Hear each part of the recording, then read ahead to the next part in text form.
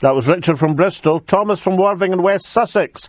Uh, Thomas, good evening. What's your view? Good evening.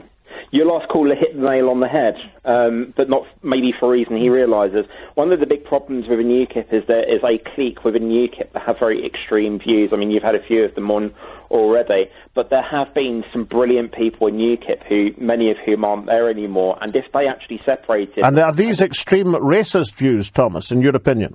Some, yes. Some, yes. I, I, I was a UKIP member up until five days ago. I, I resigned um, after seeing some very unpleasant comments, which have obviously come in, come out in the media.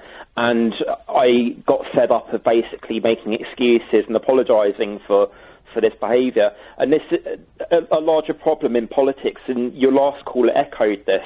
People don't have a choice. You know, in Euroscepticism, they can either back the Tories or, or UKIP. What we need to have back in this country again is a proper centrist party who has a sensible approach to Euroscepticism and Brexit. And what I would love to see is people like uh, Jonathan Arnott, Stephen Woolfe MEPs establishing a new centrist Eurosceptic party with sensible views with regards to things like the environment, housing, the NHS, and did you, Thomas, have a role in bringing to light these unacceptable texts from uh, uh, from Henry Bolton's former girlfriend?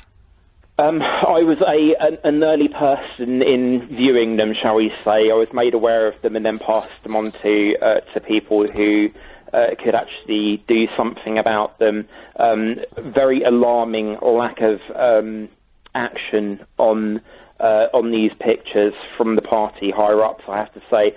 So, I mean, for me, I think UKIP are a dead duck, and the sooner they pack up and pass the torch on to something new, the better. And is this something new, the party muted and then withdrawn from by Nigel Farage, or do you see some other new force in English politics emerging, Thomas? Um, I, like I said, I would like to see.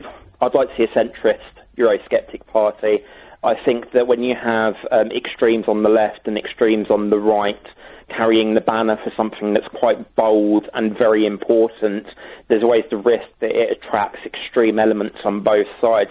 And what we've been lacking in this country for too long now is a properly liberal um, party to propose things that you know that are good for people but don't harm other people. And this is what I what I would appeal for for people who have left UKIP, the moderate voices, the Jonathan Arnotts, the Stephen Morse, to come back on board, create a new party with sensible centrist ideas.